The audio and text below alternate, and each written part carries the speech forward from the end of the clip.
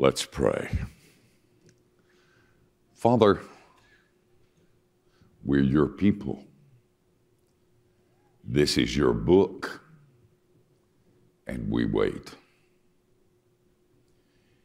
In this place, may we hear the soft sound of sandaled feet. Forgive the one who teaches his sins, because they're many. We would see Jesus and him only. And we pray in Jesus' name. Amen. Amen. I want you to know this is a first for me. I have never, ever in church preached a sermon when I was wearing jeans.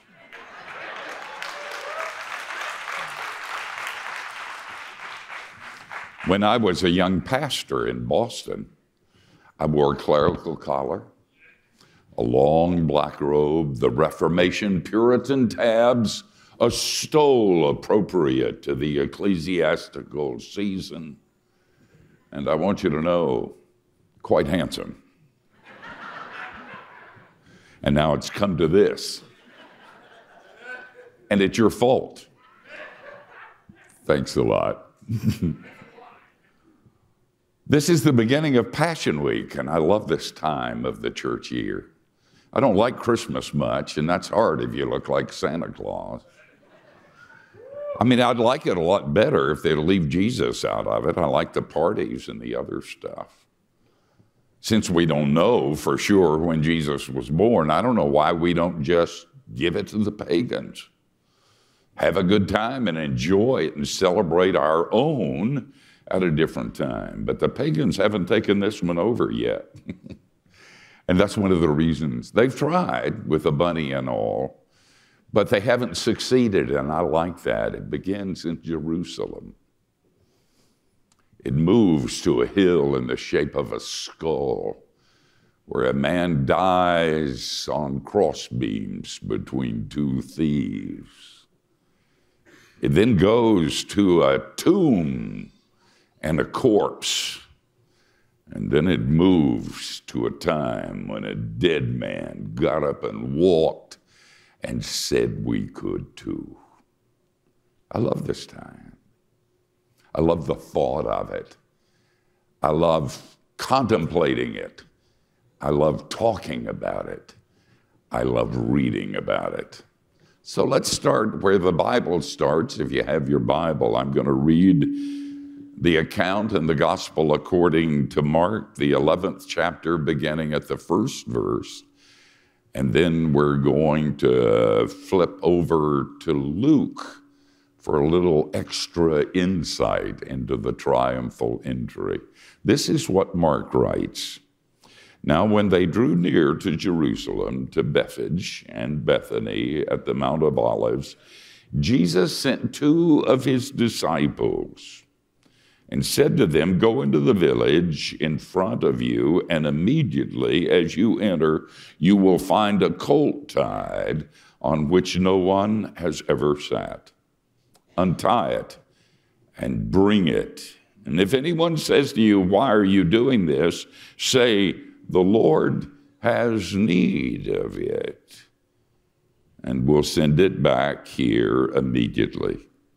He went away and found the colt tied at a door outside in the street as they untied it. And some of those standing there said to him, What are you doing untying the colt? And they told them what Jesus had said, and they let them go. And they brought the colt to Jesus and threw their cloaks on it. And he sat on it, and many spread their cloaks on the road, and others spread leafy branches that they had cut from the fields. And those who went before and those who followed were shouting, Hosanna! Blessed is he who comes in the name of the Lord. Blessed is the coming kingdom of our father David. Hosanna in the highest. And Jesus entered Jerusalem and went into the temple. And when he had looked around at everything As it was already late, he went out to Bethany with the twelve. And then flip over with me to Luke, and I'm reading from the 19th chapter, and I'll start at the uh, 39th verse. And some of the Pharisees in the crowd said to him, Teacher, rebuke your disciples. And he answered, I tell you, if these were silent, the very stones would cry out. Now, we're going to talk about the sound of a stone this morning, but first, I want to go down a side road, and I don't want you to miss God's underground. It may have been a miracle. Jesus may have given the abilities of the Son of God, foreseen that there would be a donkey in a certain place, and supernaturally asked his disciples to go into the city. When they found the donkey, bring the donkey to him. But I don't think that's what happened. Jesus had spent a long time in Jerusalem. I think he had made friends there. He has friends in funny places, high and low. He has friends, and those friends would surprise you. And I believe that's what happened here. These were the friends of Jesus, God's underground. I remember when our older daughter, in her senior year at college, went on a youth hostel trip to different nations in Europe. I remember saying, honey, that's great. Any adults going along? And mistake, she pulled herself up. She's little, but she's big when she stretches. And she said, What do you mean, adults? And then I shut up. However, I'm a father and I have friends in funny places. And so I made sure that in every country, and she doesn't even know this to this day, in every country, in every city where she visited, there was somebody there standing by, ready to help. Is that cool or what? That's what God has done for us. It's amazing. Speaking of Robin, she was born in Boston. We had moved from the mountains of North Carolina, didn't know a soul in Boston, and Anna was pregnant, and we were scared to death. Have you ever seen how many doctors there are in the Boston phone book? I mean, a hundred billion, and we didn't know a single one. So we opened the phone book, put our finger on a name, and called her, and her name was Ruby Jackson, and she was absolutely wonderful. She was motherly. She was so good to calm this nervous father. She was kind all the time. And it wasn't until Robin had been born and weeks later that we found out that she was a Christian and that she had been praying for us every day. And she called when we first moved to Florida. She had retired and she said to Anna, How's that girl? Did she grow up? How did she turn out? I've been praying for her all along. And, and we realized that in a very lonely and dark place for us, kids who were scared to death, not knowing a single soul, God has his underground watching and looking. Vin Maloney was the director, the head of the Yankee News Network, well known throughout New England and mean as a snake. I did news for him, and that was a scary experience. When he stood outside the news booth after I finished a newscast and he was red faced, he would sometimes have his rosary beads in his hands and he would say, Oh God, sometimes I pray for patience. And then our first Thanksgiving came along. He said, Hey, Brown. I said, What? He said, You want to come over to our house for Thanksgiving? And I thought, no, I don't think so. but we went to his farmhouse, and I remember sitting around that dead, that table with all that food. and looking at Vinny, and I realized he's my brother in Christ. Jesus told him to, they're everywhere. Everywhere. Whenever we go to a restaurant, we get ready to say a blessing. I always say to the waiter or the waitress, hey, son, we're getting ready to pray. You want anything? and they laugh, and some of them say, You a Christian too? They don't wear badges, but they're everywhere. They could be the clerk in the grocery store, could be the pilot on the airplane you fly, the way it was when I flew to India and was scared to death. They're everywhere, and you're a part of that. God's underground. Be sensitive because your family, they're like weeds. Can't get rid of them. And I thought, I thought I would remind you you're never alone. His underground is there. And when you're in need, it'll be okay. If you've been around the church very long, you've been through a lot of Palm Sundays, you know that this is almost a farce. I mean, it's cool that they shouted praise and Hosanna at the beginning, but on Friday, this same bunch were shouting crucify and crucify. So it's kind of like a dance on the Titanic. I used to wonder why in the world do we celebrate this day? It really is a farce. And why did Jesus, and he knew what was going to happen. He knew they were going to hang him on a cross. He knew what they were going to shout. He even could feel the spittle running down his face, and yet he didn't stop the party. What's, what's with that? Not only that, when the uptight, and I'm sure they're Presbyterians, when the uptight Pharisees said, Jesus, can't you do something about this noise? Can't you do something about these, your disciples? And Jesus said, and I love this, if they were quiet and still, and Presbyterian, even the rocks would cry out. What's with that? Why do we celebrate this? Knowing what's, why did Jesus allow the party knowing what was happening? Well, I'm going to tell you. Because there's some things that you can't make be silent. Let's talk about it. For instance, Grief is hardly ever silent. The word Hosanna is an exclamation of praise and joy, but that's not the etymology of the word. The word is used one time in the Old Testament, and it's the 118th Psalm.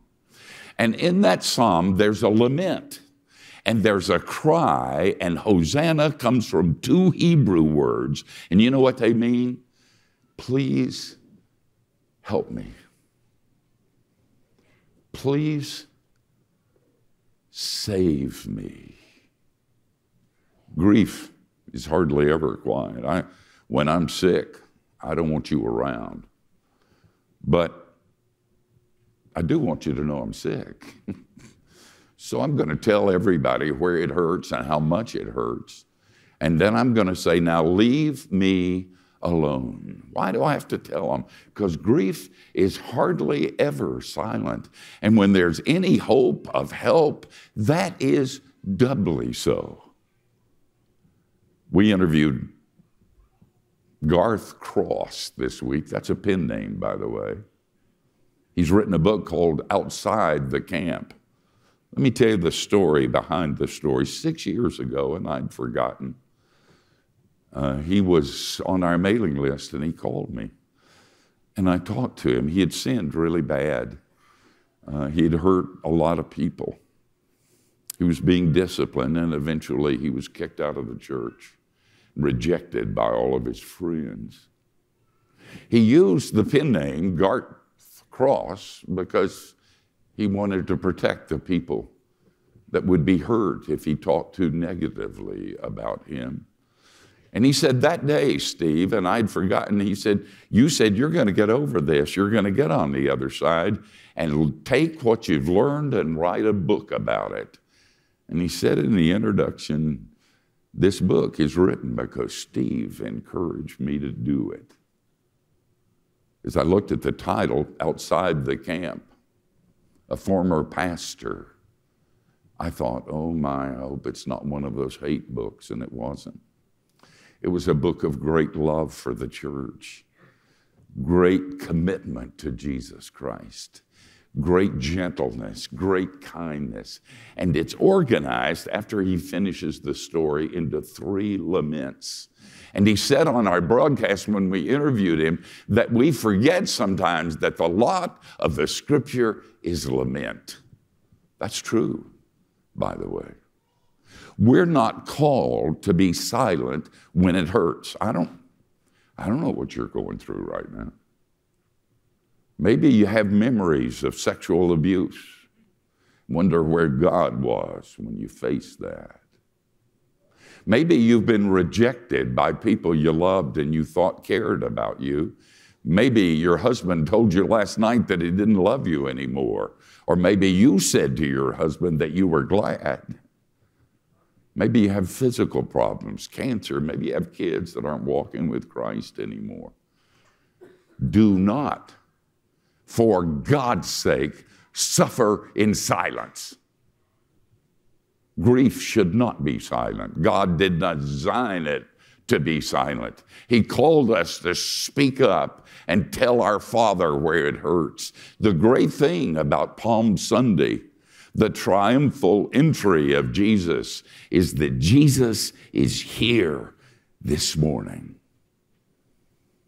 You cry loud at the top of your lungs because he hears and he cares. Grief is hardly ever silent. Praise is hardly ever silent either. Our younger daughter, Jennifer, when she was growing up, had a poster in her bedroom. Do you all remember Ziggy? Most of you weren't even alive.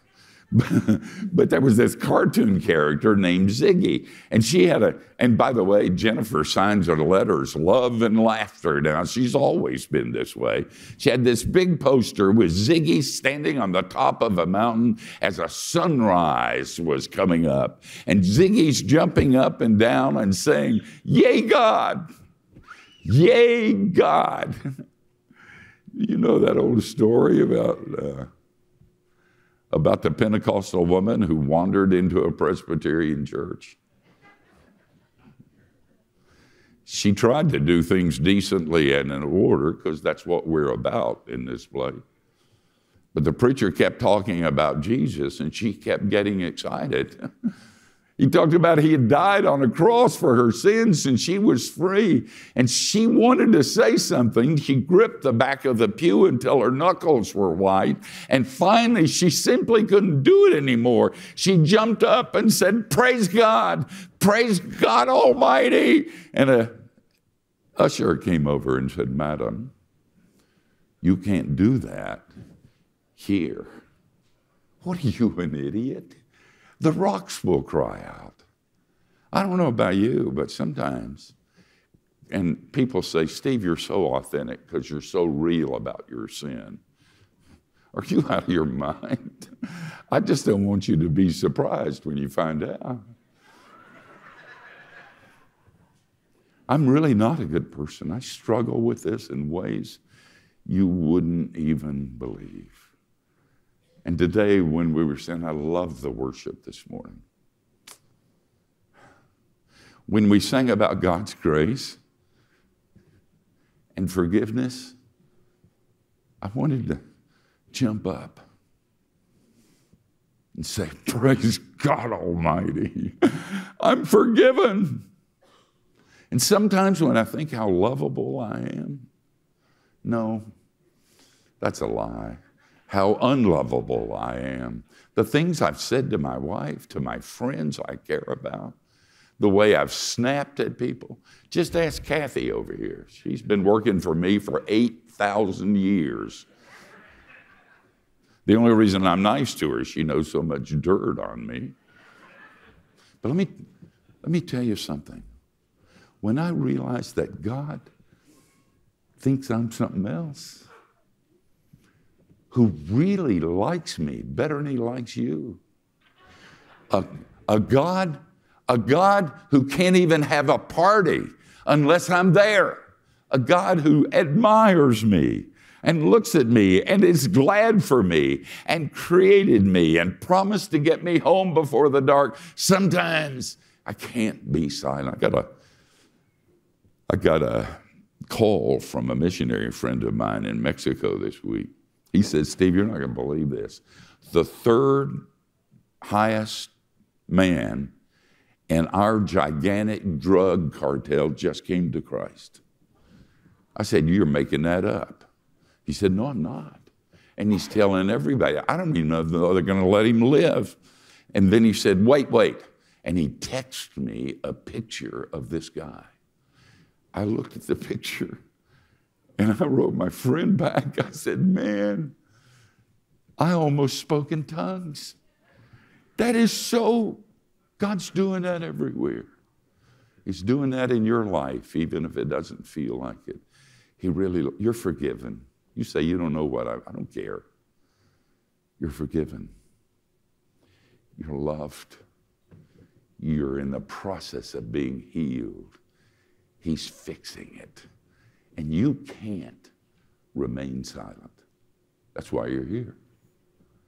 You're being Presbyterian when you're here, but we're going to a picnic after this. And you can shout as much as you want to, and you should, because praise is hardly ever silent. But there's one other thing grief is hardly ever silent, and praise is hardly ever silent, and Jesus is never silent. Why was he riding a donkey instead of a white horse? Why did he wear a robe instead of armor? Because he was identifying with his people, with me, and with you. You know what I've been reading this week? Uh, J.D. Vance's book, Hillbilly Elegy. I didn't want to read it because I knew it was some arrogant northern elitist twit who was going to look down his nose with his peacock feathers flying in the breeze and make fun of people like me from the mountains of North Carolina. And my friend said, No, no, no, you're going to love this. So I got the book and I started reading, and my friend was right. This guy is a graduate of Yale. He's a Yale trained lawyer. He's making a lot of money. And he said, I want to rise up and call my people blessed. And so, as he talks about the pain and the darkness, the abuse, the hurt, the pride, the strength, the courage of the people in the mountains of West Virginia and the people in the Rust Belt in the north, where they migrated and they always came back to the mountains. As he related his boyhood experiences, he identified, he said, These are my people. I'm a redneck. I'm a hillbilly. And I've loved the book because he never got away from his people. Jesus knew his place too. Wasn't with the Pharisees and the leaders and the elite, it's with us. And that's what the triumphal entry is all about Jesus saying, I'm here, I got your back, I'll fix it. Huh. Passion Week. I love this week. It's, it's a farce. Napoleon said one time when he came back from one of his campaigns, one of his, the first in command, the crowds were praising Napoleon and and his first in command said, It must be delightful to have the crowds praising your name. And Napoleon said, Nonsense. With a little bit change of circumstances, this same bunch would call for my hanging. He was right. People are really fickle. But Jesus had the party anyway. It started in Jerusalem. It moved to a mock trial and then to an execution on a cross and then to a graveyard and then to a dead man who got up and walked and he's still walking. He walked to Florida. He walked to Winter Springs. And he walked to the Willow Creek Church this morning. And we should now, and at the picnic, at the top of our lungs, shout, Hosanna! Blessed is he who comes in the name of the Lord. And if you listen to what I taught you this morning, you know why. You think about that. Amen.